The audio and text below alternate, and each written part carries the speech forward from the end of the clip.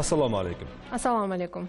Dunyo statistikasiga e'tibor beradigan bo'lsak o'tgan yili yo'l transport hodisasi tufayli 1 million 260 ming kishi hayotdan bevaqt ko'z yumgan. Bu esa 3 milliondan ortiq vujudga kelgan avariyalar natijasi demakdir ma'lumotlarga ko'ra respublikamiz hududida so'nggi 5 oy davomida 3046 ta yo'l transport hodisasi sodir bo'lgan. E'tibor bering.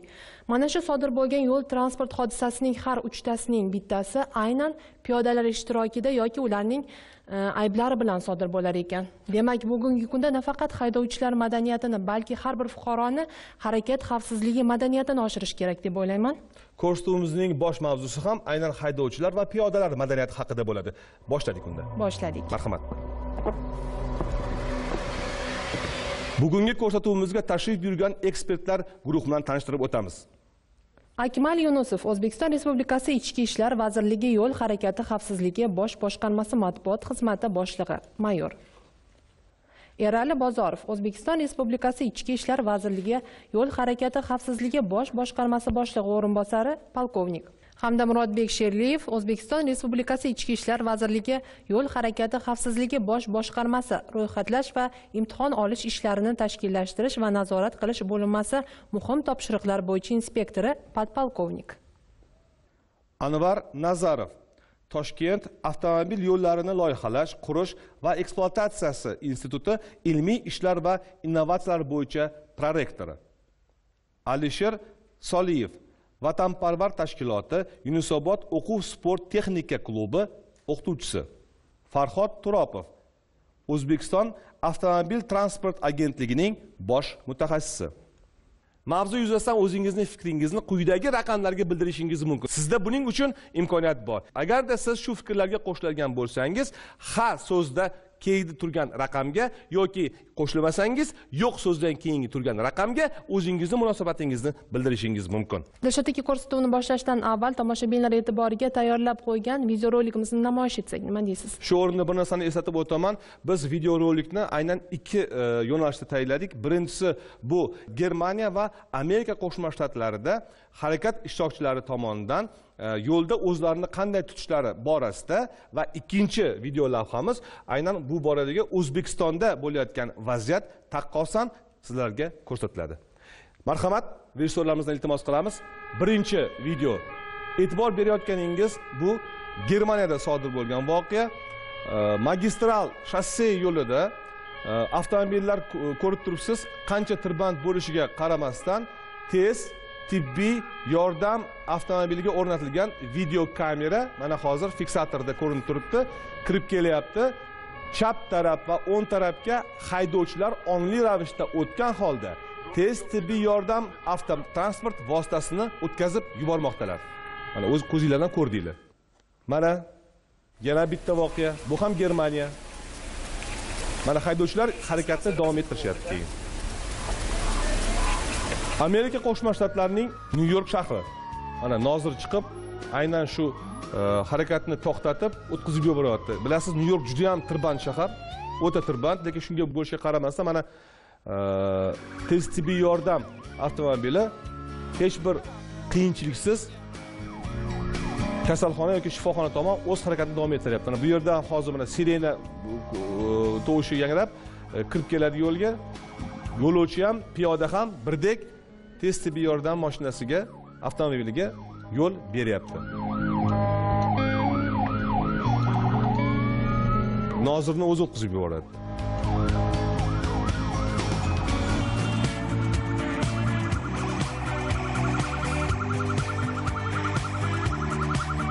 Katta rahmat.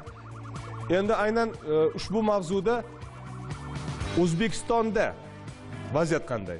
Siz ko'rayotgan video bu toshkent shahrida shofayz mahallasidan chiqib berishdagi yo'l o'tkazishda tasvirga olingan ko'rib turibsiz harakatni butunlay yo'lni egallagan holda boshqa ishtirokchilarga e, imkon bermagan holda harakat amalga oshirilyapti. To'g'ri bu to'y bo'lgan taqdirda ham lekin baribir ko'cha ishtirokchilariga ham e, harakatlanishga imkoniyat berish kerak edi. Mana bunisiga qarang range rover markadagi yo'l tanlamas avtomobillar tomonidan tuzilgan avtomobil karvoni yo'lni ikki qismini ham egallagan holda barcha harakat qatnashchilariga xatar tug'dirgan vaziyatda harakat qilishmoqda. Endi bu esa qoraqalpog'iston respublikasidan tayyorlangan. Bu ham aynan shu e, yoshlarni to'yda o'zlarini tutishlari mana drift deydi.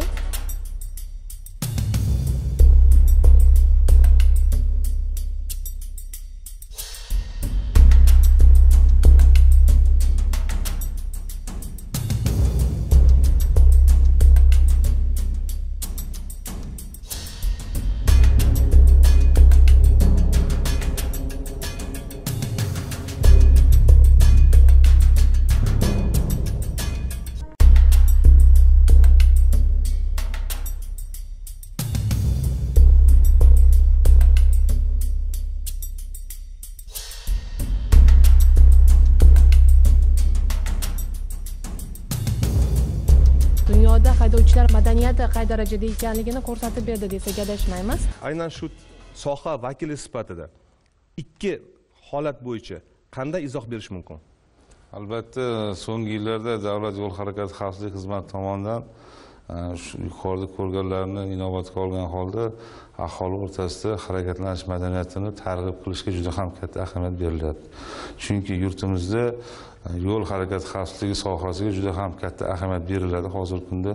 Bunda demak hozirgi kunda bizada avvalambor shu yo'l harakati xavfsizligini tartibga solishni me'yoriy hujjatlari mavjud va doimiy ravishda takomillashib bormoqda. Bunda demak o'zbekiston respublikasini yo'l harakati xavfsizligi to'g'risidagi qonuni demak yo'l harakati qoidalari o'zimizdan o'zbekiston respublikasi vazirlar mahkamasini qarori bilan tasdiqlangan va albatta ushbu qoidalarni buzganlik uchun ma'muriy javobgarlik to'g'risida kodeksda bir qator shu jazo choralari mavjud. Ha, bular mavjud bo'lgan taqdirda shu ko'chalarimizda shu kabi qoidabuzarliklarni demak haydovchilarni o'zaro behurmatligi haydovchilarni piyodalarga nisbatan piyodalarni haydovchilarga nisbatan behurmat munosabati bo'layotganlarini doim ko'rib kuzatib boramiz. Maqsadimiz shu yevropadagi amerikadagi shu harakatlanish madaniyatini bizda ham shu nima deydi fuqarolarimizga yuqtirish joriy etish. Hamma sharoit imkoniyatimiz bor. Lekin tartib yo'q. Э, haydovchilarimizda piyodalarimizda sabr yo'q. Ahvol o'zgartirib bo'lmas darajada yomon deb aytolmayman. O'zgarishlar bor. Albatta agar masalan to'yga keladigan bo'lsak bevosita to'ylar masalan bir necha yildan beri biz shu narsaga kurashib kelamiz siz hozir ko'rsatayotgan rolikni mana qoraqalpog'iston respublikasi deyapsiz. Qoraqalpog'iston respublikasi yo'l harakati xavfsizligi boshqarmasi bunaqa to'y marosimlar juda yam qattiq turadi. Lekin hudud katta. Xodimlarni soni cheklangan. Buni barcha joyi birdek nazorat qilish imkoniyati yo'q. Akmal aka agar yuqoridagi so'zlarimga e'tibor bergan bo'lsangiz men aynan yo'l harakati xavfsizligini eh, ta'minlashga mas'ul bo'lgan tizim ishlamayapti degan fikrdan yiroqman. Bir ma'lumotga yana qaytsak. Eh, aslida yuz yildan ortiq vaqt bo'ldi o'zbekistonda avtomobil boshqarilayotganligiga. Eh, bu borada bir tizim mavjud. Maktablarimiz faoliyat yurityapti hattoki ushbu yo'nalishga xususiy sektor vakillari ham muvaffaqiyatli kirib keldilar. Ya'ni mutaxassis tayinlayapmiz o'quvchilarni o'qityapmiz. Deyarli risoladagidek hamma narsani shart sharoiti mavjud. Ammo lekin bir oddiy so'z. Haydovchilik madaniyati. Nega yo'q a bizda. Biz nima o'zimizdan o'zgani hurmat qilmaydigan darajaga keldikmi? Va yoxud shu moddiy ne'matlarni ichida bu bizga berilgan narsalarni biri misol uchun avtomobil boshqarish va shundan rohatlanish bo'lgan bo'lsa undan unumli foydalana olmagan holda ko'z ko'z qilishga ishqiboz bo'lib ketyapmiz. Yoki birov o'zimizni o'zimiz hurmat qilishni to'xtatib qo'ydikmi? Anvar aka mana siz oliygohda aynan ta'lim bilan tarbiya bilan Э, aynan shu yo'nalishdagi mutaxassislarni tayinlashga mas'ul bo'lgan shaxslardan birisiz. Nima deb o'ylaysiz? Bugungi kunda biz qayerda xatoga yo'l qo'ydik? To'g'ri haydovchilarimizga biza yo'l harakati qoidasini o'rgatamiz lekin haydovchilik madaniyatinichi bor yo'g'i to'rt soat o'rgatamiz. Bu yetarlimikin? Yo'q. Ya'ni yo'l harakati qoidasini mukammal bilgan shaxs ham uni qasddan yoki qasddan bo'lmagan holatda buzish hollari. Mana hozir videorolikdan biz ko'rib turibmiz. Gohida masalan o'shani oqibatini tushunib tushunmasdan e, yo'l harakati qoidasini buzishyapti. Mana shu narsani bizlar demak e, haydovchilarimizni ongiga shunday singdirishimiz kerakki qachonki ular yo'l harakati qoidalariga hurmat bilan yondashsin. Germaniya misolida biz ko'rdik amerika qo'shma shtatlari misolida ko'rdik. Nimaga bular tez tibbiy yordam mashinasiga yo'l berishyapti? Chunki bular uchun yo'l harakati qoidalari judayam ustuvor darajada. Inson hayoti ham Inson hayoti ustuvor darajada. avtomobilni ichida baribir inson ketyapti yordamga muhtoj degan fikr bor. To'ppa to'g'ri. Haqiqatdan ham o'sha insonni hayoti sog'ligiga bo'lgan munosabat qonunlarga bo'lgan hurmat ya'ni qonunni bajarishga bo'lgan hurmat. Bizni ham yo'l harakati qoidalarimizda aynan mana shu e, harakatni boshqa qatnashchilariga xavf xatar tug'dirmaslik qiyinchilik tug'dirmaslik talablari yozilgan. Lekin bunga bo'lgan munosabatimizni mana hozir bizlar videoroliklardan ko'rib turibmiz. Mana- fikrlaringizga qo'shilaman chunki mana yuqorida ko'rgan videorolikimiz Germaniyada bu holat ya'ni tez yordam mashinasi kelayotganda mashinalarning trassada ikki chekkaga bo'linishi bu qonun qoidalariga amal qilgan tarzda bajarilgan. Balki bizning respublikada ham aynan mana shunday qonun qoidalarni joriy etish kerakdir hozirgi kunda biz tahlil ishlarini olib boryapmiz. Aynan shu o'quv dasturlarini qaytadan ko'rib chiqilyapti. Mana anvar aka aytib o'tganlaridek oldingi dasturlarimizda bor yo'g'i to'rt soat o'qitilgan bo'lsa hozirgi kunda shunaqangi talab qo'yilyaptiki umumiy dasturning o'n foizi miqdori mana shu e, haydovchilik madaniyatini oshirishga qaratilmoqda. Bu dasturlar xudo xohlasa mana yakunlab qoldi tasdiqlanadi. Tasdiqlangandan keyin o'sha hammaga dastur amal bo'ladi. Yerali aka qarangda o'zi aslida yo'l harakati xavfsizligi bosh boshqarmasi. Haydovchilarni jazolovchi organmi va yoxud ularga ko'mak beruvchi va yo'ldagi umumiy harakatni xavfsizligini ta'minlovchi organmi? Endi bizlarning mana nomimizda ham agar e, qaraydigan bo'lsangiz davlat yo'l harakati xavfsizligi xizmati. Bizlar xizmat ko'rsatamiz xavfsizlikni ta'minlash bo'yicha. Mana shu yerda harakat xavfsizligini e, ta'minlash jarayonida bo'ladigan ishlarni tashkillashtiramiz. Harakat xavfsizligini ta'minlash bo'yicha e, targ'ibot ishlarini olib boramiz. Shu bilan birga yo'l harakati qoidalarini buzgan haydovchilarga nisbatan chora ham ko'riladi. Bu albatta o'z e, o'z o'zidan ko'rinib turibdiki baribir o'sha madaniyatga borib taqaladi. Shu yo'l harakati qoidalarini buzmagan haydovchiga hech qanday muammo yo'q. Harakatni buzyapti madaniyati bo'lmayapti yo'l harakati qoidasi buzilyapti natijada ma'muriy javobgarlikka tortilyapti. Bular hammasi shu o'quv dasturimizdan boshidan boshlanib kelinadi. Transport vositalar video registratorlardan olingan ma'lumotlarni yagona bazasini yaratish. Ulardan olingan ma'lumotlarni hududiy boshqarmalarga berish. O'shalar asosida chora ko'rish. Albatta shu olingan ma'lumot tufayli chora ko'rilgan taqdirda shu ma'lumot bergan fuqaroni rag'batlantirish. Bunda nima degani? Bu jamoatchilikni rolini oshirish demak man yuqorida aytib o'tdim har bir hududga bizani xodimlarni yetkazib bo'lmaydi qo'yib bo'lmaydi. Bunda demak fuqarolar jamoatchilik bizaga keng ko'makdosh bo'lishadi. Bular bizaga shu qoidabuzarlikni video tasvirga foto tasvirga olib jo'natishadi. Biz uni qayta ishlab tegishli choralarni ko'ramiz. Bu ham boya yuqorida ta'kidlab o'tdik jazo ma'muriy jazo nima bu? Ma'muriy jazo bu haydovchini harakat ishtirokchisini mas'uliyatini oshirish uchun qo'yilgan bir jazo. Agarda qoidani buzmasa hech kim e, unga nisbatan jazo qo'llanmaydi qoida buzgan taqdirda unga jazo qo'llanadi shu nuqtai nazardan olganimizda jamoatchilikni rolini kengaytirish uni rag'batlantirish masalalari qo'yilgan. Hozirgi kunda bu bo'yicha ishlar amalga oshiryapmiz e, bu borada bizani nima deydi amaliyotimizni уже boshlab yuborganmiz. Hozirgi kunda fuqarolarimiz shu masalan toshkent shahrida shu shu kabi qoidabuzarliklarni olib shu video tasvirlarni jo'natishmoqda. Toshkent viloyatida jizzax samarqand viloyatlarida yo'lga qo'yilgan. Bu albatta o'zini ijobiy natijasini beryapti. Demak qaysidir ma'noda o'sha haydovchilarni o'zlari yo'llardagi nazoratni qo'lga olishlari albatta haydovchilar fuqarolar bu demak jamoatchilik nazorati fuqarolarimiz o'zini o'zi nazorat qilib bizga ko'mak berishyapti. Albatta bu narsa o'z o'rnida biz buni ko'rsatyapmiz masalan shu fuqarolarimiz olgan video tasvirlar orqali shu haydovchilarga chora ko'rilayotganini biz targ'ib qilib ko'rsatyapmiz bu narsa ishlayapti mexanizm. Bu o'z o'zidan shu yo'lda ketayotgan haydovchiga nisbatan u mas'uliyatni kuchaytiradi. U haydovchi mani hech kim tasvirga olmayaptimi? Mani hech kim ko'rsatmayaptimi deganda qoidani buzmaslikka harakat qiladi. Qarangda jamoatchilik bor. U ham baribir yo'l harakatining ishtirokchisi. Haydovchi bor. U ham bevosita ishtirokchi. Ammo lekin shu e, madaniyat degan so'zi o'zida bo'lmasa biz qachongacha uni bunaqa yo'llar bilan haydovchilarni misol uchun e, aytmoqchi emasman qo'rqitish yo'li bilan. Aytmoqchimanki e, tasvirga olamiz e, hamma kelib yordamlashadi lekin o'zida madaniyat bo'lmasa uni tunu kun poyloqchilik qilishdan ne naf? Yo'l harakati xavfsizligi to'g'risidagi dasturlarni maktabdan boshlashimiz kerak. Vaholanki maktabgacha bo'lgan ta'lim muassasalaridan boshlashimiz kerak. Bu shunday bo'lishi kerakki mana shu yerda yurish mumkin emasmi? Mumkin emas. Bu yoshligidan miyasiga singdirib borishimiz kerak. Bunda albatta o'quv muassasalari maktabgacha bo'lgan tarbiya muassasalari maktablar kollejlar litseylar oliy o'quv yurtlari qolaversa mahalla jamoatchilik hammasi birga bir yo'nalishda harakat qilishimiz kerak. O'shandagina bularning madaniyatini yoshlikdan agar shu singdirib borsak o'ylaymanki bizlar o'ylagan e, maqsadga erishamiz. Targ'ibot kuchli bo'lishi kerak Kuchli bo'lishi kerak, albatta. endi qarang e, alisher aka siz siz ham o'qituvchi sifatida mana bir necha avlod o'quvchilarni yetib yetishib chiqargansiz. Shogirdlaringiz ichida haqiqiy o'sha e, o'zi yo'l yo'lda intizomni sevuvchi e, aynan shunaqa harakat xavfsizligiga to'liq rioya qiluvchi e, o'quvchilaringiz ko'p bo'lgan. Lekin mana bugungi kundagi yoshlarimiz bilan bundan aytaylik o'n o'n besh yil avvalgi yoshlarni o'rtasidagi bir tafovut bormi? Qandaydir hovliqmaga o'xshagan bir e, narsalar vujudga kelyaptimi yoshlarimizda? Tashqaridan qarab agar e'tibor beradigan bo'lsa sizni gaplaringizga yuz foiz qo'shilsa bo'ladi. Lekin respublika miqyosida harakat xavfsizligini ta'minlash bo'yicha hamma e, e, qarorlar undan tashqari qonunlar qabul qilingan. Hozir erali aka mana akmal aka aytib o'tishdi.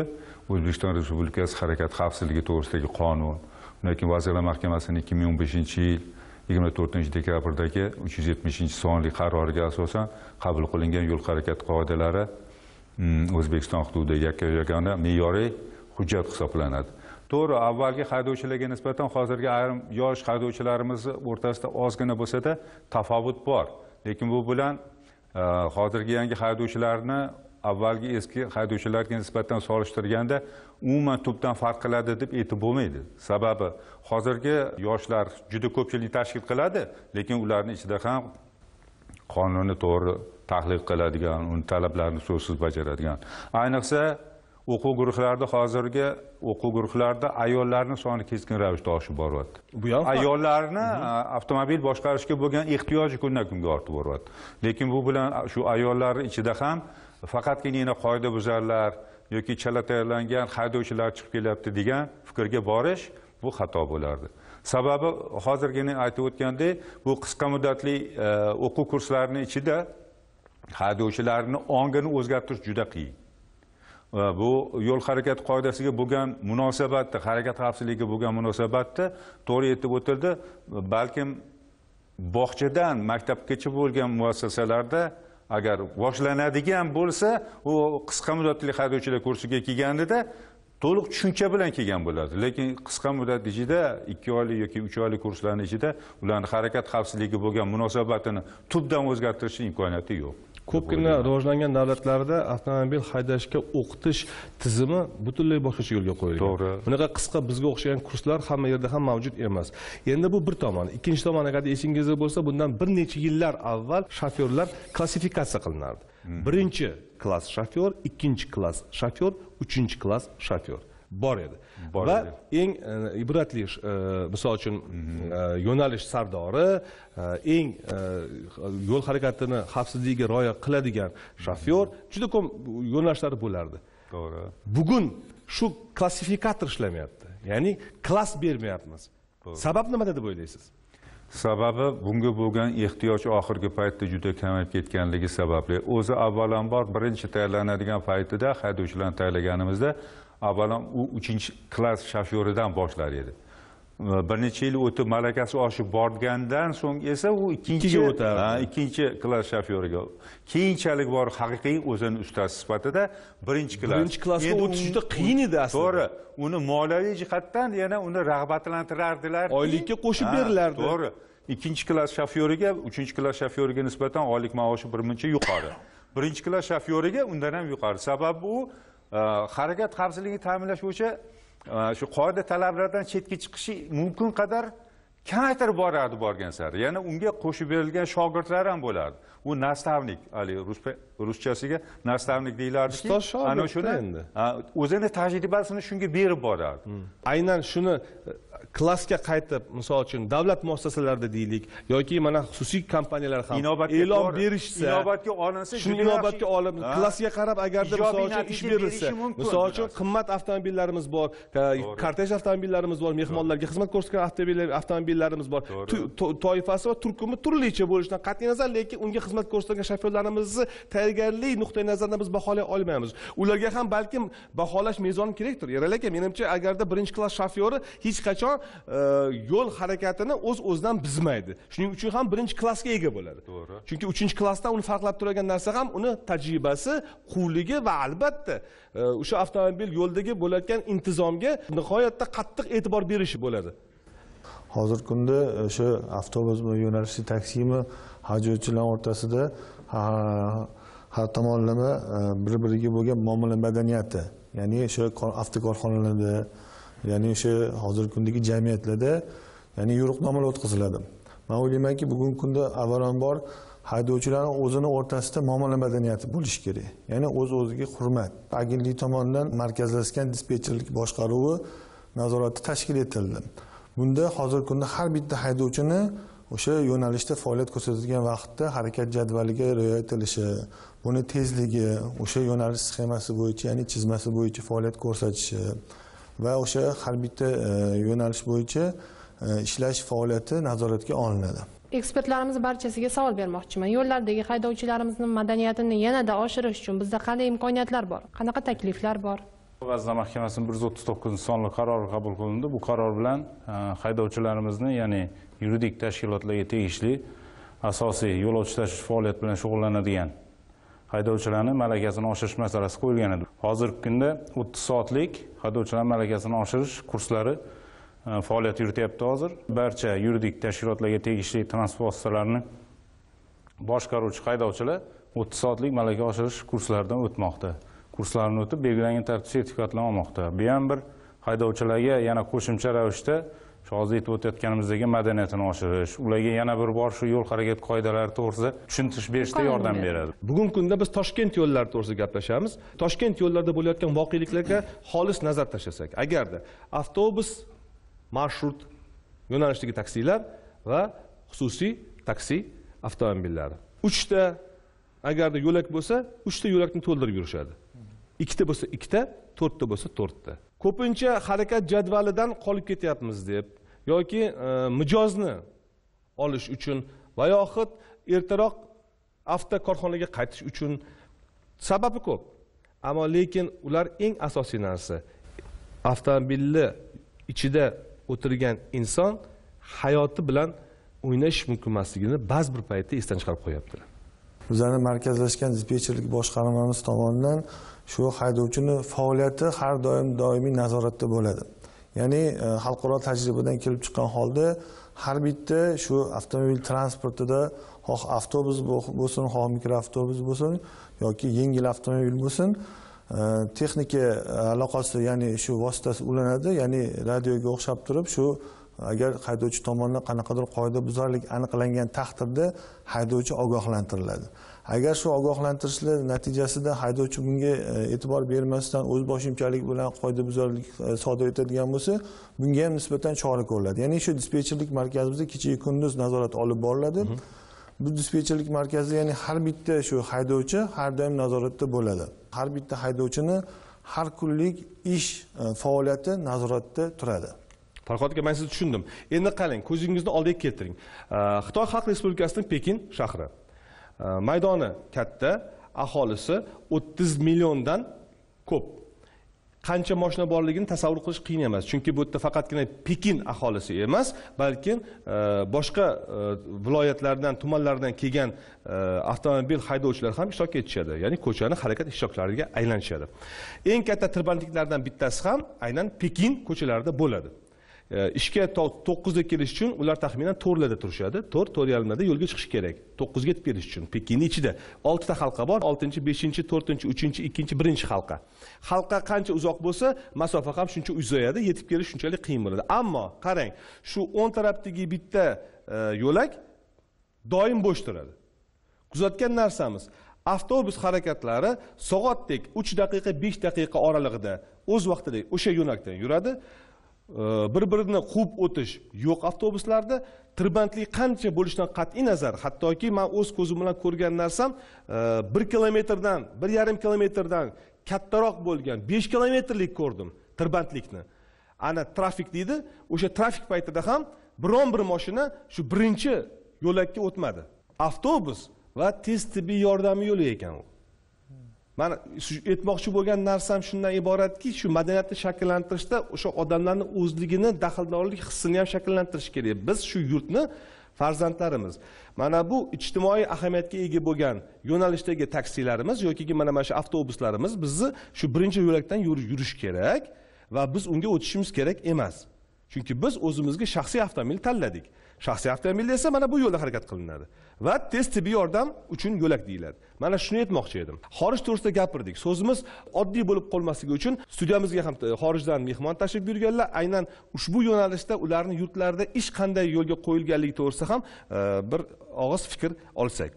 E, marhamat mehmon. Koreya respublikasidan tashrif buyurganlar bugungi kunda avtomobil yo'llarini qurish nazorat qilish va ekspluatatsiya qilish institutida ta'lim Э, jarayonida bevosita bilvosita ishtirok etmoqdalar haydovchilarni madaniyati qanaqa? Birinchi shu haqida gapirsinlar. Assalomu alaykum. Siz sizlarni tanishganimdan xursandman mening ismim pyongun che. Men avtoyo'l institutida ishlayapman in korea uh, four years ago Bundan 4 yil oldin e, Koreyada katta muammo ro'y bergan va u faqatgina haydovchilar muammosi emas, balki umuman olib qaraganda haydovchilar, piyoda va yo'l harakati ishtirokchilarini hammasiga tegishli yo'l harakati madaniyatlarini savodini oshirish bo'yicha favqulodda programma, ya'ni dastur ishlab chiqilgan va u hozir o'zini natijalarini beryapti. Ya'ni e, nafaqat tez yordam, balki e, o't o'chiruvchi mashinalarga yo'l berish bo'yicha ham ko'proq e, o'sha Germaniya yo'llarida madaniyat nima uchun yuqori darajadaligi tadqiqot qilib shu tatbiq qilish natijasida mana to'rt yildan keyin bular shu natijani hosilini ko'rishyapti germaniyada shunday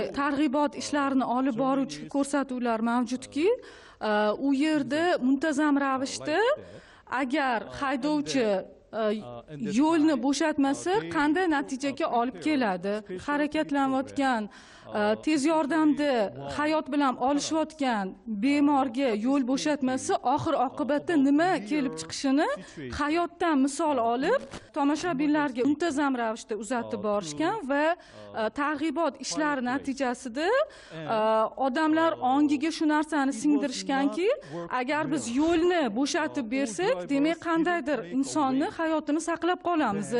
Degan narsani ular muntazam ravishda ko'rsatib borishar ekan germaniyada. shundan keyin ular koreyada ham xuddi shunday maxsus dastur maxsus e, efirga uzatuvchi e, ko'rsatuvlarni olib bora boshlashgan. Qandaydir vaqtdan keyin bu o'z hosilini bergan demak e, ko'rinib turibdiki koreya respublikasida aynan targ'ibot orqali tashviqot orqali va haydovchilarni madaniyatlari birgalikda oshirilgan. Aynan. Ham haydovchi ham piyodalar. Chunki piyodalar aynan e, harakatni bevosita va bilvosita ishtirokchilar ular ham. Man chilonzor vatanparvar tashkilotida amaliy boshqarish ustasi bo'lib ishlayman. Masalan bizaga yangi e, o'quvchilar keladi. Asosan o'n sakkiz yoshdan yigirma besh yoshgacha bo'lgan o'quvchilar keladi.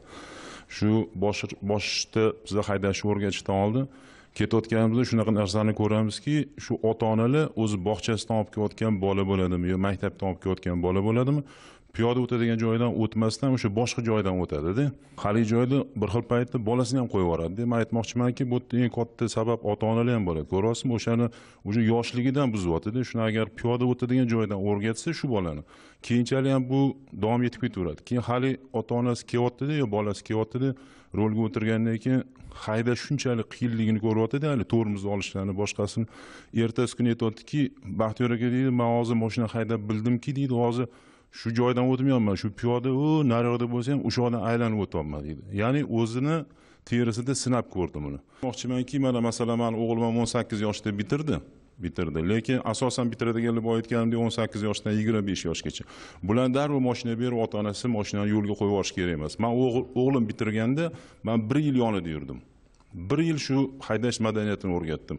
Bu ha- ha- e, burab haydab ketib bu haydab ketish emas. Undan tashqari yana aytiladigan gaplar bor o'rgatiladigan gaplar bor. Og'riqli muammolardan bittasi shu tajribasizlik. Chunki e, haydovchilarni tayyorlash qayta tayyorlash o'quv yurtlarida haydovchilarga asosiy ba'zi bilim beriladi. Bu yerda hech qachon bir professional haydovchi chiqmaydi. Bu yerda asosiy bilimlar qoidalar tushuntirib o'rgatilib havaskorda ular? havaskor haydovchi tayyorlanadi. lekin ushbu havaskor haydovchimiz ko'chaga chiqib shu qoidalarga rioya qilgan holda harakatlansa hech qanday noxush holat yuz bermaydi. Agarda u shoshqaloqlik endi ko'pchiligimiz bilamiz e, rulda uch to'rtay o'tirgandan keyin o'zini bir shumaxerdek his etib demak manga hamma narsa mumkin ekan yuqorida ko'rganimiz. yursam bo'larkan. albatta. Bu shu to'ylardagi zaks marosimlaridagi muammolarimiz ham shundanki ota onalarimiz yosh farzandlarini demak shunaqa marosimlarga avtomobilda chiqazib yuborishadi. Bu yoshlarimizda birinchidan haydovchilik e, tajribasi past kam. Ikkinchidan hayotiy tajribasi kam chunki u oqibatini bilmaydi nima bo'lishini. Buni oqibatida mana har xil hodisalar ko'ngilsiz hodisalar yoki ko'ngilsiz hodisa yuz bermagan taqdirda ham oddiy shu zaks marosimida agar siz ketayotgan bo'lsangiz yo'lni to'sib boshqa harakatni ishtirokchilariga xalaqit qilishadi. Bolasini yetaklagan piyodani aytyaptilar. Bu ham bir katta muammo. Chunki biz maktabda bog'chada o'rgatamiz o'qitamiz. A uni ota onasi yo'li to'g'ri kelgan joydan kesib olib o'tadi. Bolaga shu tarbiya o'tadi. Bolaga shu tarbiya o'tadi. Bola kimdan o'rnak oladi? Otasidan o'rnak oladi onasidan o'rnak oladi. Yoki o'rgatamiz ota otasini mashinasida orqa o'rindiqda o'tiradi e, bizani maskaniga kelganda otasi ikki yuz metr qolganda xavfsizlik kamarini taqadi. To'g'ri. U bola ongida bu narsa qoladiku. Yo'l harakati xavfsizligi nozirlarini ko'rgandagina shuni qilish kerak. Ularni ko'zi uchun degan o'sha farzand otasidan o'rnak oladi otasidan yuqtiradi bu narsa uni ongida singadi. Uni aslida qonun qoidalar fuqarolar haydovchilarni o'zlari uchun ularni xavfsizligi uchun. Albatta ota onalarimiz ham birinchi navbatda o'rnak bo'lishlari kerak farzandlariga. Akmal aka tajriba haqida gapirdingiz? O'sha haydovchilik guvohnoma olish muddatini balki cho'zish kerakdir tajribani yanada oshirish uchun. Nima deb biza biz hozir yengillik kiritmoqchimiz shu yuqorida ta'kidlab o'tgan konsepsiyaga asosan demak e, ikki ming o'n to'qqizinchi yildan birinchi sinfdan o'n birinchi sinfgacha yo'l harakati qoidalarini e, joriy Dars sifatida dars sifatida. Aynan. Va albatta shu o'n birinchi sinfni bitirayotgan e, e, maktab o'quvchisiga uni baholarga imtihonni shu topshirganiga qarab unga haydovchilik a va b toifali haydovchilik guvohnomasini bitirganda bitirgandan keyin berishni joriy etmoqchimiz demak biza nimaga mo'ljal qilyapmiz? Biza shu o'quv tashkilotida uch oy to'rt oy emas balkim birinchi sinfdan o'n birinchi sinfgacha o'qisin o'n bir yil mukammal. O'n birinchi sinf bitirgandan keyin shu yoshi yetgandan keyin o'sha a toifali va b toifali baholari ta'sir qiladi to'g'rimi? Albatta o'sha olgan baholari bo'yicha uni amaliy imtihonlardan o'tkazib berishni hozir amaliyotga kirgizmoqchimiz qachondan amalga oshirilishi mumkin? Bu haqida ham gapira olamizmi? ikki ming o'n to'qqizinchi yildan shu joriy qilmoqchimiz shu o'quvchilarga shu birinchi sinfdan konsepsiyamiz belgilangan. Endi buni ham ahamiyatli tomoni ikki ming o'n ikkinchi yildan e, xalq ta'limi vazirligi tomonidan maktablarda o'tilayotgan yo'l harakati qoidalari darslar juda yam qisqartirilib yuborib yo'qqa chiqarildi deyarli yo'q desa ham bo'ladi. Deyarli yo'qqa chiqarildi bu ham o'zini ta'sirini ko'rsatdi. Endi hozirgi kunda mana shu konsepsiyaga biz kirgizdik. Keyingi yildan harakat qilyapmiz. Shu narsani shu dars soatlarini joriy albatta qilishni bo'lishi shart bo'lgan albatta chunki fizika kerak matematika kerak lekin yo'l harakati qoidalari har kunlik ehtiyoj bor bu narsaga. Chunki hayot har kim bo'lgan xatlab chiqadi yo'l harakati ishtirokchisiga aylanadi. Albatta. shuni inobatga olgan holda shu birinchi sinfdan o'n birinchi sinfgacha o'qitish mo'ljalimiz taklif bor edi to'g'ri lekin birinchi sinfdan boshlab agar o'n birinchi sinfgacha yo'l harakati qoidalarini o'rganib chiqadigan bo'lsa mukammal darajada biladigan darajaga yetib boradi. Mana bu ikki oylik yoki uch oylik qisqa muddatli kurslarga nisbatan o'n bir yil o'qigan o'quvchi bilan uch oy o'qigan o'quvchini o'rtasida tafovut juda yam katta bo'ladi. Albatta. Tajribasi ham shunga yetarli darajada.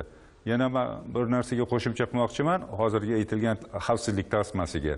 Fransuz olimlarini tadqiqotiga qaraganda har o'nta yo'l transport hodisasidan yettitasida xavfsizlik kamari rul boshqaruvida o'tirgan haydovchini hayotini saqlab qolish imkoniyatini berar ekan. Unga yana qo'shimcha ravishda yana shuni e, tadqiqotda ko'rsatishganki xavfsizlik tasmasi taqilmagan holda boshqarayotgan transport vositasini haydovchisi keskin to'qnashuv sodir etilganda qo'zg'almas jism bilan sekundning yettidan bir qismi muddatida davom etar ekan yo'l transporti hodisasi haydovchini vazni o'zini vazniga nisbatan sakson barobardan yuz barobargacha oldiga katta tezlikda shiddat bilan qo'zg'aladi mana bu nima oqibatlarga olib kelishini mana shu haydovchilarga yaxshilab unga tushuntirib beradigan bo'lsak haligi gai xodimini ko'rganda gnini faqat xavfsizlik tasmasini taqish yoki chorrahani narigi betida e, yo'l e, davlat yo'l harakati xavfsizligi noziri turganini ko'rgan holda qoida bilan harakat qilaman yo'q bo'lsa qoidani buzib o'tib ketaman degan fikrga bormasligini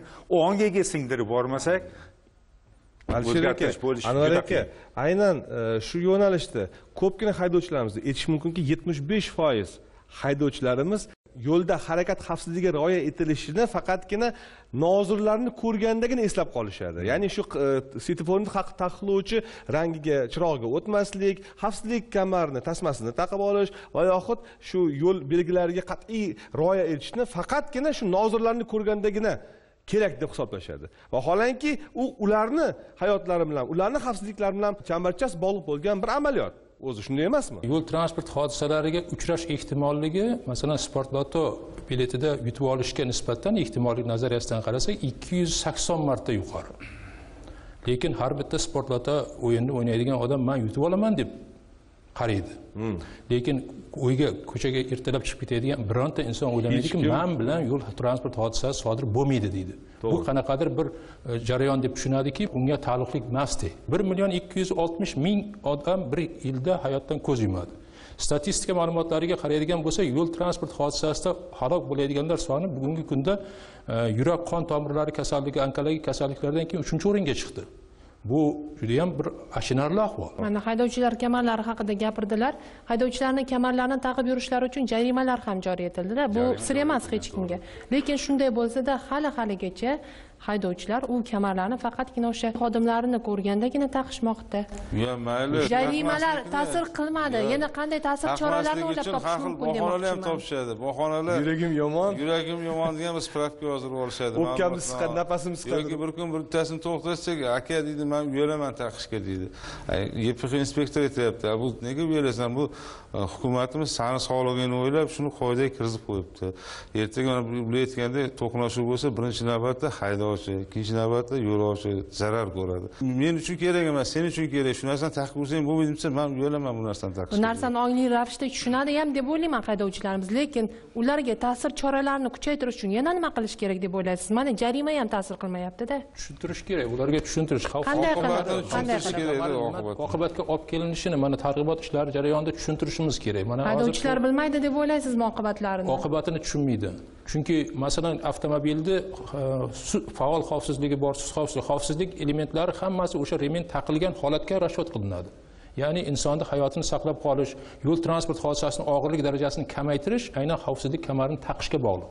Agar xavfsizlik e, kamari taqilmagan bo'lsa inson mana hozir e, ta'kidlab o'tilganidek yo'l transport hodisasi sodir etilgandan keyin avtomobilni ichida demak tartibli harakat qilmaydi u.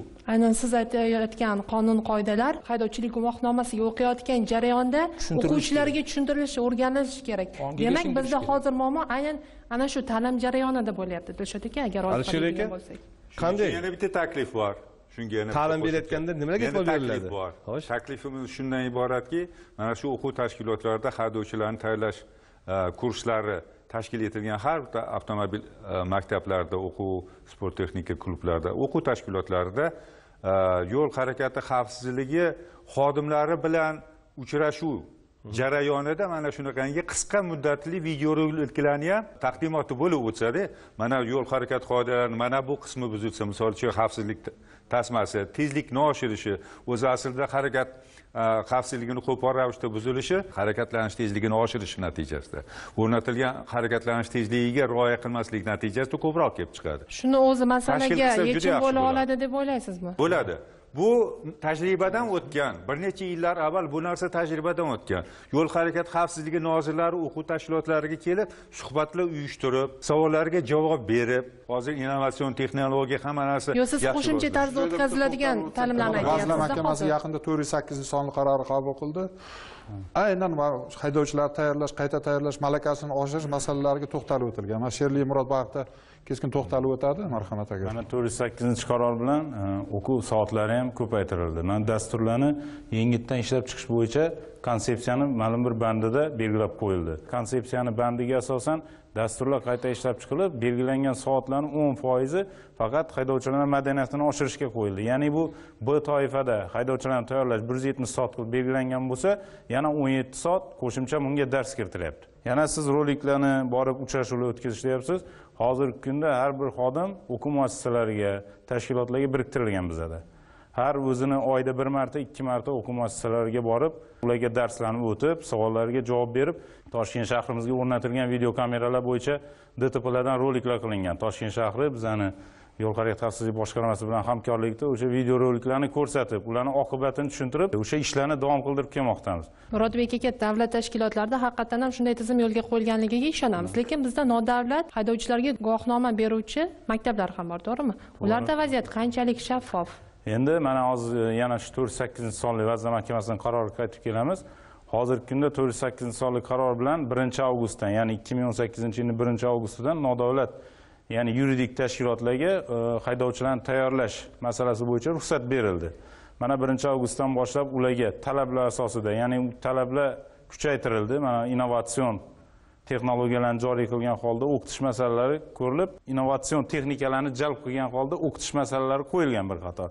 Agarda mana o'quv tashkilotini ochaman deb murojaat qilgan yuridik tashkilotlar o'sha to'rt yuz sakkizinchi sonli qarorda ko'rsatilgan talablarga javob bermasa bu o'quv tashkilotiga vazirlar mahkamasi huzuridagi ta'limni nazorat qilish inspeksiyasi tomonidan litsenziya berilmaydi agar o'sha qarorda ko'rsatilgan to'liq talablarga javob beradigan bo'lsa litsenziya olgan holda faoliyatini boshlaydi shaffoflik masalasi ham hozir aynan mana shu masala bekorga bermadim bu savolni haydovchilar madaniyatini mahkamasining qarorida hammasi belgilangan talablardan bittasi shu tinglovchilarni o'quv muassasasiga kelishi o'qishi qatnashishini avtomatlashtirilgan nazorat qilish tizimini yaratish.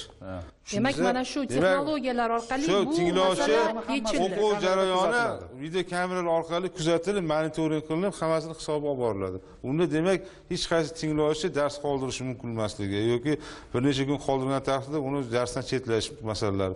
Shunaqa talablar qo'yilganki hammasi axborot kommunikatsiya texnologiyalari asosida nazorat qilib boriladi. Bu unda inson aralashmaydi inson omili chetga chiqadi bu yerda. Avtomobilni bir ming to'qqiz yuz oltinchi yildan beri haydayapmiz. Har yili takomillashtirmoqchi bo'lamiz. Har yili nimadirlarni topamiz. Lekin bitta inson agarda yo'l harakati natijasida vafot etsa shuncha gapirganimiz bekorda. To'g'ri qilinayotgan sa'y harakatlar hammasi shu odamning hayotini saqlab qolishga qaratilgan.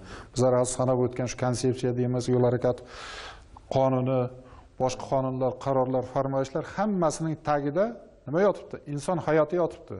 O'sha inson hayotini agar bizlar o'zimiz bil- bilib bilmagan holatda bitta odam hayotini balkim saqlab qolayotgandirmiz mana shu ishlar bilan?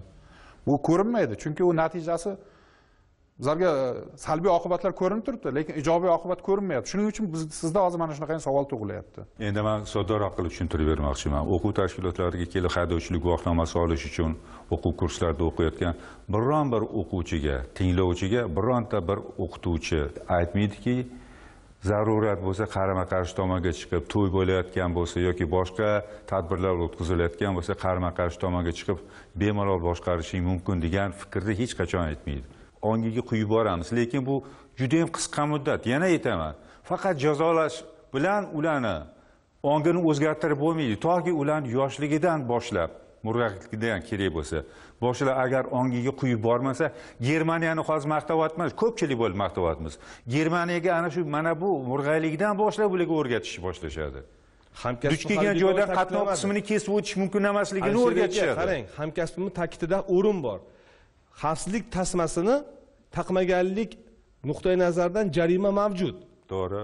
Lekin bugun o'zining yetarli natijasiga ega emas deyapti endi xavfsizlik tasmasini qachon haydovchi taqyapti hozir ko'p o- o'zimiz ham ishtirok etamiz yo'l harakatida piyoda sifatida yoki yo'lovchi sifatida shu transport vositasida. Foto video ta- kadrlar oladigan e, elektron mosla- moslamalarga yaqinlashib qolganda oldingi taqib olgin o'tib bo'lgandan keyin olib qo'yasiz. Bu uni haydovchini hayotini saqlab qolishi uchun kerakligini fikriga e, xayoliga ham keltirmaydiki bu faqat hali jarimadan qutulib qolish yo'li deb o'ylaydi. Xizmat avtomobillarini tezkor harakatlanadigan avtomobillarni o'tkazish bilan shug'ullanishi madaniyat emas.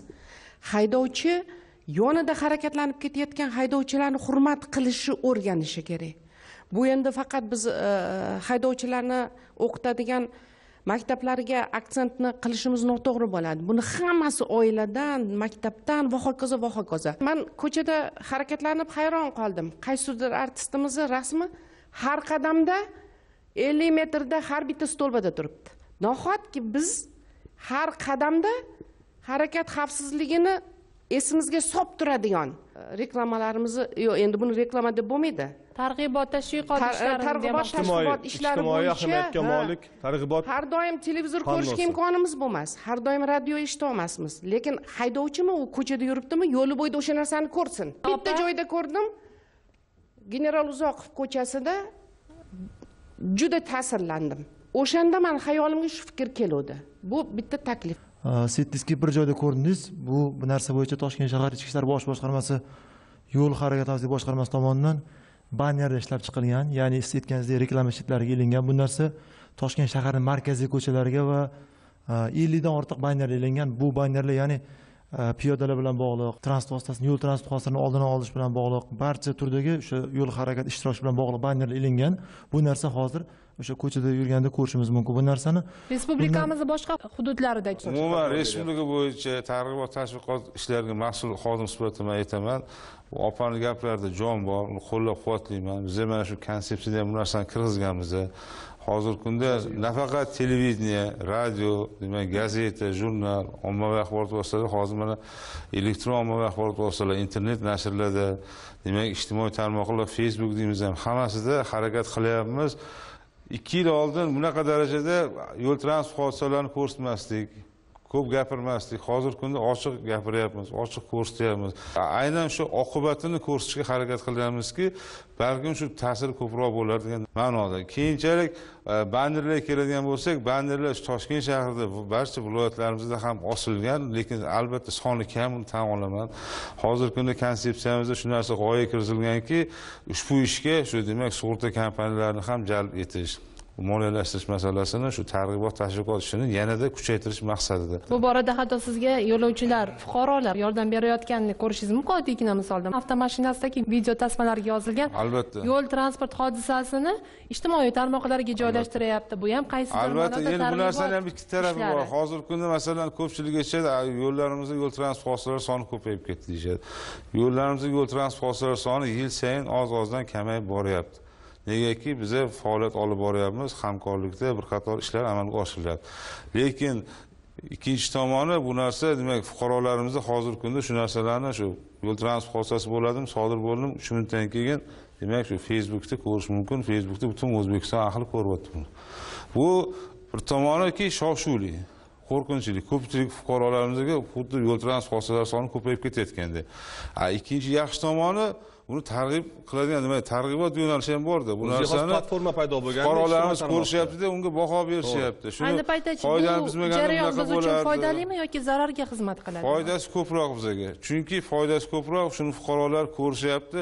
Oqibatini ko'rsa fuqarolarimiz tezroq yetib boradi. Toshkent shahrida joriy etgandik shu qoidabuzarliklarni demak video tasvirini jo'natish u orqali demak qoidabuzarlikka jarima qo'llash bu ham juda ham keng muhokama bo'ldi. Ko'pchilik buni sotqinlik deb atadi boshqa deb atadi.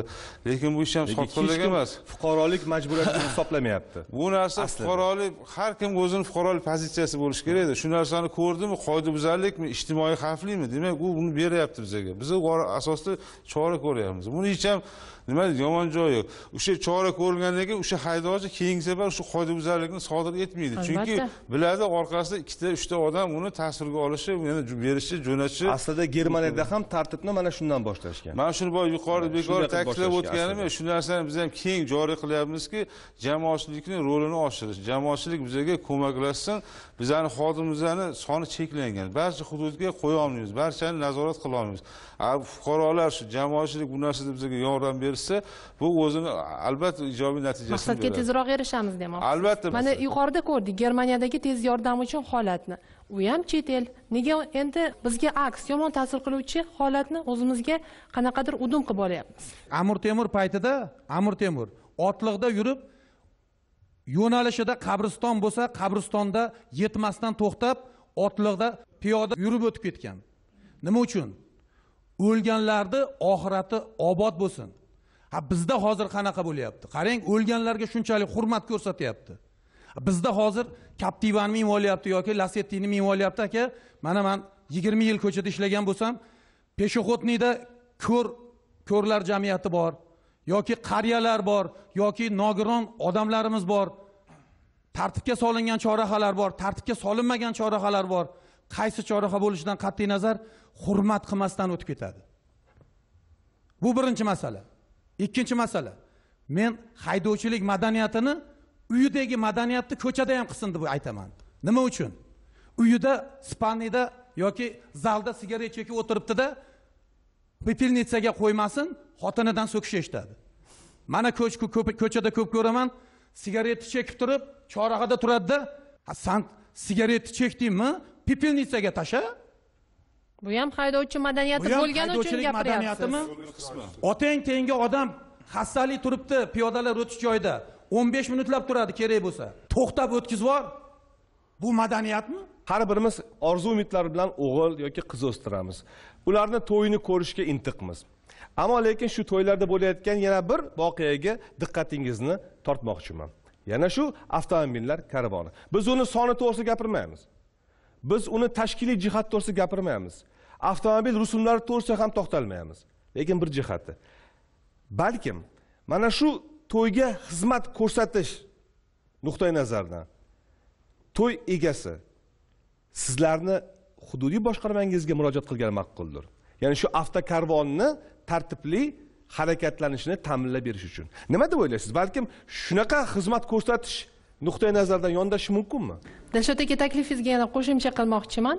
Albatta moliyaviy masalaga kelganda odamlar biroz o'ylab ko'radi chunki cho'nchagidan mablag' ketyapti. Masalan yo'l transport xizmati xodimlariga qaysidir mablag'lar evaziga mashinalar karvoniga kuzatuvni yo'lga qo'yilsada va albatta o'sha mablag' bo'lgandan keyin o'sha to'y qilayotgan xonadon egasi bu narsani qilish kerakmi yoki yo'qmi degan narsani o'ylab ko'radi deb o'ylayman. Qarang fotimaxon biz aynan avtomobil karvonini taqiqlash emas bilaks unga xavfsiz va namunali xizmat ko'rsatish to'g'risidagi bir tashabbusni ilgari suryapmiz. Manziliga xavfsiz yetib borish uchun. Shunday qilish mumkinmi? E, bu teoretik. mani fikrim mani shaxsiy fikrim qarshiman bu narsaga? Chunki bu zaks marosimlaridagi asosiy muammo o'sha tartibbuzarlik guruh bo'lib yurish qoida buzish yo'l to'sish yo'lda har xil xavfli manevrlarni bajarish.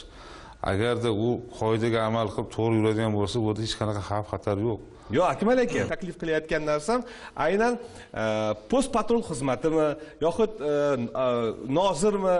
O'zini avtomobilida shu kichik karvonni deymiz. Balkim to'rt dona avtomobildan iborat bo'lar balkim olti dona avtomobildan iborat bo'lar balkim besh dona avtomobildan iborat bo'lar. Lekin albatta karvonni cheklangan oldiga cheklangan miqdordada oldiga shu karvonni oldiga turib xavfsizlikni ta'minlab bular ham uni ko'rib buning uchun joriy qilish shart emas. Bizada pullik xizmat mavjud demak bu narsa bor bizda ariza bilan murojaat qilingan taqdirda bu narsani imkon oshirish mumkin. Lekin man shaxsiy fikrim qarshiman bu narsaga. Qarshisiz ekspertlarimizga yuzlanaman mani fikrim shu agar haqiqatdan kuzatuv maxsus transport vositalari shunaqangi karvon avtomobillarini e, marosimlarda kuzatib boradigan bo'lsa balkim bu ham ijobiy natija berar degan fikrdaman man sababi harakat xavfsizligi ta'minlangan bo'ladi. Uzoqdan yaqinlashib kelayotgan maxsus transport vositasi ko'k ko'k qizil yoki maxsus tovush ishorasini chiqarayotgan transport vositalari yaqinlashib kelayotganda oddiy transport vositalari yoki to'ydagi mana shu karvonlar yaqinlashib kelayotganiga nisbatan uzoqroq masofadan turib e'tiborini kuchaytiradi degan fikrdaman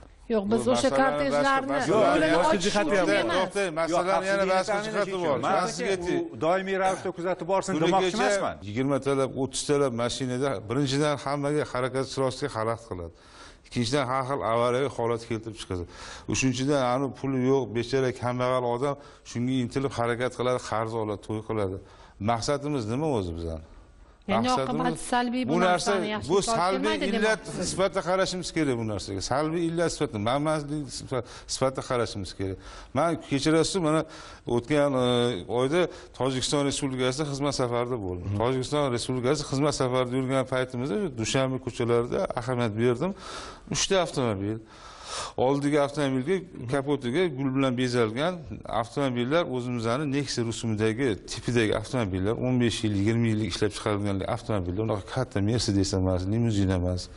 Uchta avtomobil kelib bog'ni oldiga to'xtadi kelin-kuyov kirib bog'ga kirib ketdi. Orqasida bir uchta to'rtta kuzatuvchi. Man uchta joyda ko'rdim shu narsani. Bo'larkanku qilsa tojikistonni poytaxtidami yoki qaysi tojikiston poytaxtida ko'rdim ikkita holatni bitta holatni e, samarqand viloyatiga kelayotganimizda ko'rdim viloyatida. Demak bizadachi bizada man ko'rib turibsizku yo'lni to'sib hammaga xalaqit qilib hammaga to'sqinlik qilib masalan ishdan charchab ketyapsiz balki ayt- aytmoqchi edimki balkim qanaqadir huquqiy mexanizmi topilsa e, shu kabi ko'ngilsiz voqealarni oldi olingan bo'larmidi? To'g'ri lekin sizni gapingizda jon bor. Agarda bu kabi tashabbus ilgari suriladigan bo'lsa ertaga darrov uni oldiga mototsikl qo'y kuzatuv avtomashinasini bitta emas uchta qilgin. Demak ortiqcha hoyu havasdan o'rinsiz narsalar vujudga kelishi mumkin. Bu tomondan qo'shilish mumkin. Chunki chegara degan paytda sal nozikroq tushunchada bu aslida mohiyatan. Lekin to'y yaxshi narsa. Dilshod aka shu yerda bitta narsani qo'shimcha qilib o'tmoqchi edim bizlar har qanday taklifni ijobiy bo'lsin salbiy bo'lsin. Bizlarga minglab takliflar kelganda mana shu konsepsiyani yaratish jarayonida bizlar mana olti oy o'tirib ishladikda. U birdaniga bir kunda konsepsiya olib turib bir joydan ko'chirib olindi emas shu takliflar asosida ishlandi. Har qanday taklif bo'lsa bizlar ko'rib chiqamiz uni ijobiy tarafini salbiy tarafini ko'rib chiqamiz. Keyin mutaxassis sifatida unga baho berib vazirlar mahkamasiga kiritiladi bu narsa. Bu bitta hozir mana bu yerda bo'ladi bo'lmaydi degan narsa bilan masala yechilmaydi. Bu keskin muhokama qilinadi. Jamoatchilik. Fikrini olinadi. To'g'ri to'g'ri. O'ng tomoni chap tarafi pasti balandi hammasini o'rganib chiqilgandan keyin bitta to'xtamga kelinadi. Yoshlar baribir e, yo'l harakati ishtirokchilarini e, ko'pi masjidlarga borishadi. Baribir kitob o'qiydigan odamlar har holda ziyoli yoki umuman ma'lumotga ega bo'lgan odamlar. Umri zoyi etish birovni haqqi degan tushunchalar bor. Islom dini hamma vaqt birodarlikka ahillikka eng asosiysi tinchlikka asoslangan. Shunday emasmi? Bu mavzuga bizni islom dinimiz befarq emas. Butun olamlarni yaratgan Allohni bandasimiz banda ekanligimizni esdan chiqazib qo'ydik. Ana shuni natijasida haligi birovni mensimaslik yoyinki bir joni qiynalib keladigan o'sha tibbiy yordam mashinasini ichidagi insonga befarqlik biz banda ekanligimizni esdan chiqazib qo'yganligimizdan. Biz musulmonchilik deganda faqat namoz ro'za zakot ibodat tushunib qolganmizda. Musulmonchilik to'g'ri u ibodat haqqulloh va haqqul abd. Ollohni banda bilan haqqi bor bandani banda bilan haqqi bor. Buni hech birimiz yoddan chiqarmasligimiz kerak. Ana shu endi mana hozir ta'lim berish kerak bog'chadan maktabdan juda to'g'ri fikr. Lekin u ta'limni ota ona bolani tili chiqishidan yoshligidan berishligi kerak. O bolam bandani haqqi bor xudoni haqqi bor. A bu xudoni aytganini qilmasang haligi ro'zani tutmasang xudoni oldida gunohkor bo'lasan. Lekin san ko'chada yurganingda san haydovchi bo'lasanmi piyoda bo'lasanmi kim bo'lishligingdan qat'iy nazar san shu harakat ishtirokchisan. O'zingni haqqingni olgin birovni haqqidan qo'rqqin kim o'zini otasini yo akasi yo opasi bir aqrabosini ana shu tez yordam mashinasida vaqtida shifoxonaga yetib bormasdan yordam ko'rsatilmasligini bir yomon oqibat bo'lishligini xohlaydi. Hech kim. Demak ana shuni ichida tasavvur qilishligimiz kerak. Menga o'xshagan bir insonni otasi yo onasi bordir. Mana buni biz farzandlarimizni ongiga singdirsak ana shunda ular tez yordam mashinasiga yo'l beradigan bo'ladi. Misol uzoq bir masofadan keladigan yuk avtomashinalarini haydovchilari bor. Orqadan ikkinchi qatordan keladida yengil avtomashinalar ularni siqib o'tadi bittasiga bechora sabr qiladi ikkitasiga sabr qiladi. Ana u o'zi qiynalib sekin kelyapti. Ana shu yuk mashinasini yo bo'lmasa boshqa avtomobilni yo'lini siqib o'tadigan haydovchi o'ylashligi kerakki bu uni haqqi. Men uni haqqiga xiyonat qildim. Meni misol uchun o'sha gai xodimi yo bo'lmasa kuzatuv kamerasi ko'rmaganda ham butun olamlarni robbi bo'lgan Alloh ko'rib turibdi-ku. Man birovni haqqiga xiyonat qilib, yo bo'lmasa birovni asabiga o'ynab, yoyinki boyiginga o'xshab mani to'yim ekan bugun xursandchilik kunim ekan deb odamlarni yuradigan yo'lini yopib qo'yib ularni haqqiga xiyonat qilsam xudoni oldida nima deb javob beraman degan tushuncha bizni qalbimizda paydo bo'lmas ekan siz man qancha gapirmaylik biz xohlaganday rivojlantira olmaymiz.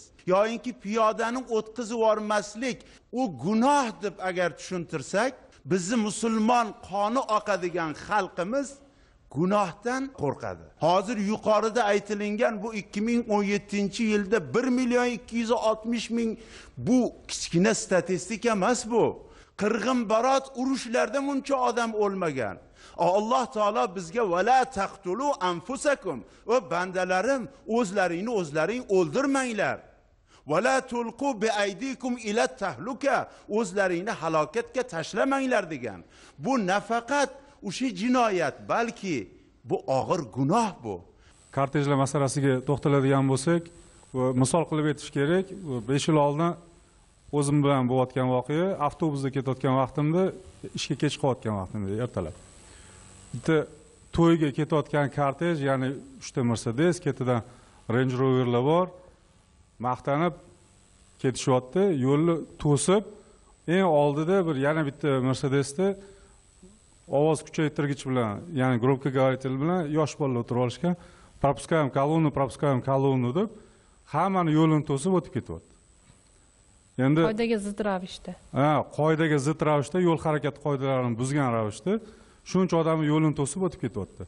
Endi yo'li to'silgan nafaqat bizani avtobus ichida kech ishga kech qolayotganlar ishga ketayotganlar orqamizda tez yordam mashinasi bor boshqa mashinalar bor ishga kech qolayotganlar bor har xil sabablar bilan ketayotganlar bor. Mana mana shu kolonni mana mana shu e, karvon deymiz karvonimizni ko'pchiligini g'azabini keltiryaptida kortej orzu havas bo'lishi to'g'rimi yoki noto'g'rimi? Umuman tartibni ta'minlaymiz deb birovni to'yini buzib qo'yishimiz ham mumkin aslida. Yuqoridagi aytilgan gaplarimiz mana hozir siz bildirgan gapingiz ham chora bo'ladimi yoki yordammi? Kortej masalasi e, qoidabuzarlik hisoblanadi. Demak guruh bo'lib yurish. E, ushbu masala bo'yicha demak o'zbekiston respublikasi ma'muriy javobgarlik to'g'risida kodeksda jazo choralari belgilangan. Bunda demak bir yuz yigirma to'qqizinchi moddani birinchi bandiga asosan e, guruh bo'lib harakat xavfsizligiga tahdid solgan holda harakatlanish eng kam ish haqini uch barobar miqdorda jarima solinishiga sabab bo'ladi. Shuningdek xuddi shunday qoidabuzarlik bir yil davomida ikkinchi marta takror sodir etilgan taqdirda demak eng kam oliy ish haqini besh baravari yoki olti oydan bir yilgacha haydovchilik huquqidan mahrum etilishiga sabab bo'ladi. Yo'l transport hodisasi natijasida kelin kuyovni tan jarohati olgani hayotdan ko'z yumgan holatlar ham bor amaliyotda. Shuning uchun birovni xursandchiligi birovga zarar keltirmasligi birovni uyida nima deydi azaga aylantirmasligi kerak. Endi buni yana bir tomoni bor. O'zbekimizni to'xtatganingizda mana ko'ryapsiz ellikta mashina ellikta mashinadan ikkitadan erkak tushsa yuzta kishi bitta inspektor olib kelib turadi. Shu narsani oldini olish uchun shu narsani mahalladan boshlashimiz kerak. Uydan xonadondan davom aytgandek tarbiyadan boshlashimiz kerak. Yo'lovchi tashish bilan shug'ullanamiz.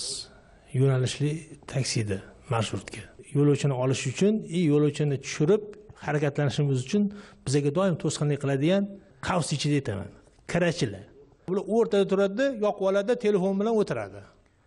Rulda o'tirgan barzangini ko'rsangiz mashinani ikki marta ko'tarib olib qo'ysa bo'ladi. Yo'lni to'sish bu. Mana shu gradusda to'sish. mana madaniyat mana. Mana madaniyat. Mana nima to'g'risida bir yuz gapiryapmiz sakson gradus tekisda turishi kerakku. U yetmish besh yigirma besh o'ttiz gradusda to'xtab klient bilan gaplashishadi mijozmi yo'l to'sib mana hamma xabardor buni ko'pchilik ko'radi. Ana endi bizani o'rnimizga o'zinglar ham qo'yib ko'ringlar soha mutaxassislariga yuzlanamiz. Toshkent shahrida respublikamiz boshqa hududlarida shu yo'lovchi tashish faoliyati bilan noqonuniy shug'ullanayotgan e, transport vositalari egalari mavjud. Bu bo'yicha bizlar davlat soliq qo'mitasi avtomobil transporti agentligi ichki ishlar vazirligi qo'shma rejamiz bor. Va alohida tadbirlar o'tkazilib bunday haydovchilarni aniqlab tegishli choralar ko'rib borilyapti. Vaholanki ana shu e, xususiy transport vositalari egalari shu jamiyatga borib a'zo bo'lib bemalol e, yo'lovchi tashish faoliyati bilan qonuniy shug'ullanishi mumkin. Hozir yana bitta narsani shu yerda ta'kidlab o'tmoqchimanki mana shu noqonuniy yo'lovchi tashish faoliyati bilan shug'ullangan haydovchilarga nisbatan qo'llaniladigan jarima ham juda katta miqdor. Miqdori juda katta. Shuni ham inobatga olishlari kerak. Ish haqini yigirma barobaridan yuz barobarigacha eng kam ish haqini yigirma barobardan yuz barobariga. Yuz barobarni mana bu jarimadan ko'ring. keyin har kim ham tavakkal qilib ko'rmaydi. To'g'rimi? barobar Agar- o'n yetti million ancha ancha muncha summalar shuning uchun men katta katta miqdorda bekorga e, to'xtalib o'tmayapman. Bu noqonuniy ravishda shu yo'lovchi tashish bilan shug'ullanayotgan haydovchilarni jarimaga tortilganiga qaramasdan bartaraf etish juda yam e, qiyin bo'lib turibdi shunga qaramasdan hozir noqonuniy e, yo'lovchi tashish bilan shug'ullanayotgan e, taksistlarni ya'ni kirakashlarni choralar ko'rib ya'ni yigirma baravardan yuz baravargacha miqdorda jarima qo'llanilib jarima maydonlariga qo'yiladi. Belgilangan o'sha e, jarimani to'langandan keyin bu jarima maydonidan chiqarishga ruxsat beriladi. Noqonuniy taksilar shu avtomobil yo'llarida uchinchi yo'lakdan birinchi yo'lakka o'tishi ya'ni o'zini harakatini boshqa harakatga to'sqinlik qilib turib yo'lini to'sib kesib o'tadi. Birinchi o'rinda shu. haqiqatdan o'zimiz ham shu agar rulni boshqarayotgan vaqtimizda o'zimizni shaxsiy mashinamizni o'zimizni ham oldimizdan o'tib turib yo'lni to'sib ya'ni xalaqit beradi. Shu yerdagi hammamizda shu voqea bo'lgan baribir hammamizda bugungi kunda amaliyotda bor bu narsa vazirlar mahkamasining qarorini ta'kidlab o'tdim bu narsa yo'lga qo'yilgan. Fuqarolar mana shu jamiyatga borib murojaat qilsa o'zining shaxsiy transport vositasini shu qarorda belgilangan talablarga ko'ra jihozlasa uning o'zini ishga qabul qiladi mehnat daftarchasini yuritadi pensioner fondga pulni ajratadi. Mana shu yerda ishchi bo'ladi. Ishchi o'rnini o'zi yaratish kerak borib murojaat qilish kerak. Jamiyatlar mavjud bugun. Nega bormayapti? Bu yerda o'z navbatida bu yerda majburiyatlar ham tug'iladi. Bu, narsa bilan faqat shu pul ishlash emas u yerda majburiyat bo'ladi. Bu siz Albatta. aytib o'tilgan shu E, yo'lovchining hayotiga javob berish yo'l harakati qoidalariga rioya qilish transport vositasini texnik holatini saqlash o'zi ertalab chiqayotganda tibbiy ko'rikdan o'tish bu majburiyatlarni hammasi bajarishga majbur bo'ladi. Mana shu narsalarda qochgan holatda men o'zim fikrimni aytyapman. Xohlamasligi balkim. Balkim u borib turib ikki soat ishlab kelaman borib turib yigirma ming ishladim bo'ldi menga bugun yetadi degan fikr bo'lishi mumkin. Bu yerda boyagi belgilangan soati bo'ladi o'sha sakkiz soatgacha ishlash kerak har kuni tibbiy ko'rikdan o'tkazish kerak transport vositasini kuniga texnik ko'rikdan o'tkazish kerak. O'sha masalalarni balkim bajarmaslik uchun bormayotgandir. Bu bu bir yo'li. Javobgarlikdan qochish. Javobgarlikdan qochish. Bu ikkinchi yo'li. Ha, bu ikkinchi yo'li javobgarlikdan qochish. Balki aynan o'sha tashkilotlar tomonidan qo'yilayotgan talablar haydovchilarni qoniqtirmayotgandir misol uchun mashinasini o'zining shaxsiy avtomobilini rangini o'zgartirishi kerak to'g'rimi? Qo'yiladigan talablardan biri. Shu tomonlari vazirlar mahkamasi qarori bilan tasdiqlangan. Unda u biron bir korxonani xohish istagi emas bu narsa. Bu narsa shu hududlarda ajratish uchun shu narsa belgilab qo'yilgan bu narsani qo'yilgandan keyin o'sha transport vositasini borib maxsus davlat raqam belgisi beramiz. Biz maxsus davlat raqam belgisi bilan jihozlangan bo'lishi kerak. Bu ham qo'yilgan talablardan bittasi maqsad oddiy shu e, havaskor kirakashdan Ajratish. shu qonuniy rasmiy Chunki bu servis xizmatini ko'rsatyapti farqini ajratish ko'rsatish maqsadida qilingan bu narsa. Bir narsaga boshim qotadi mana. Shu bekatlarda do'konlar qurilgan do'konlarga shaxsiy mashinalar kelib to'xtaydi o'n uch metrli avtobus kutib turishi kerak. Qachon boyga yengil mashina chiqib ketadiyu bekatga qo'yib odam olib odam tushirishimiz kerak. Shu madaniyatga kiradimi boyvachcha keldilar lasetida shart ko'ndalang qo'yyaptida ostanovkaga bekatga. Kirib bitta toshkent suv olib chiqyapti. Bemalol. Vaqtlari bemalol. Bizada vaqt chegaralangan. U og'ayni bekatga to'xtading. Sal nari beri to'xtasang bo'lardi degan savolimizga nima edi? Kerak bo'lsa kutasan. Yana bu madaniyatga borib taqaladi ikkinchisini oladigan bo'lsak e, vazirlar mahkamasining qarori qabul qilingan. Bu qarorga asosan barcha bekatlar oraliq bekatlar oxirgi bekatlar hamma bekatlar avtomobil transport agentligi balansiga o'tkazilgan. To'g'rimi? Avtobus bekatlarini tartibga keltirish bo'yicha. Uni e, namunaviy e, bekatlardagi e, savdo do'konlarini ko'chirtirish masalalari masalalari ham qo'yilgan bu yerda. Hmm. bu narsa ko'rilgan. Qaror endi yaqinda qabul qilindi endi kuchga kirdi. Bu narsani misol uchun yigirma yillab yigirma besh yillab turgan do'konni borib ikki kunda olib tashlay olmaydi bu narsa endi may oyida kuchga kirdimi qarorimiz? May oyida kuchga kirdi atigi ikki oy bo'ldi. Ikki oyda ham o'zi ko'zga ko'rinarli ishlar ketyapti lekin bekatlarda e'tibor bergan bo'lsalaringiz davlat yo'l harakati xavfsizligi bosh boshqarmasi qoshida ilmiy markaz tashkil qilingan. Bu markaz rivojlangan davlatlarda faoliyat ko'rsatadi. Biz o'ylaymizki mana shu markaz faoliyati ishga tushgandan keyin bu muammolar ilmiy nuqtai nazardan o'rganib chiqiladi ularni demak ilmiy yechimlari topiladi hamda o'ylaymizki yaqin kelajakda yo'llarimizdagi holat butunlay keskin ravishda ijobiy tomonga o'zgaradi. Yuqorida biz juda ko'p fikrlar e, tashladik. E, qaysidiri taklif sifatida bo'ldi qaysidir o'zimizni mulohazamizga ega ekanligimizni bildirdik. Lekin shu o'rinda yo'lda harakatlanish xavfsizligini ta'minlash uchun madaniyatimizni ichki madaniyatimizni ko'tarish birinchi o'rinda ekanligi to'g'risida menimcha yakdil bir fikrga kelyapmiz. Shuning uchun ham mana shu davraga yig'ildik va eng asosiysi haydovchilik madaniyati ertangi kunimiz istiqbolini belgilovchi eng muhim omillardan biri ekanligini ham unutmasligimiz lozim. Yo'l bu kosmos emas albatta avtomobil esa raketa. Shunday ekan har bir haydovchi yo'lda yurayotganida o'zini yerda ekanligini unutmasligi va bu orqali haydovchilik intizomiga o'zini hissasini qo'shishi mumkinligini bilishi lozim deb o'ylayman. Yana bir narsa har bir haydovchi o'zini va atrofidagi insonlarni hayotiga mas'ul ekanligini unutmasa bo'lgani. E'tibor berganingiz qarama qarshi teleloyihasi bo'ldi. Biz ko'rsatuvimiz orqali qarama qarshiliklarni yuzaga keltirmaymiz balki ularga oydinlik kiritishga harakat qilamiz. Yana keyingi ko'rsatuvlarda uchrashguncha sizlar bilan xayrlashamiz. Ko'rishguncha. Omon bo'ling.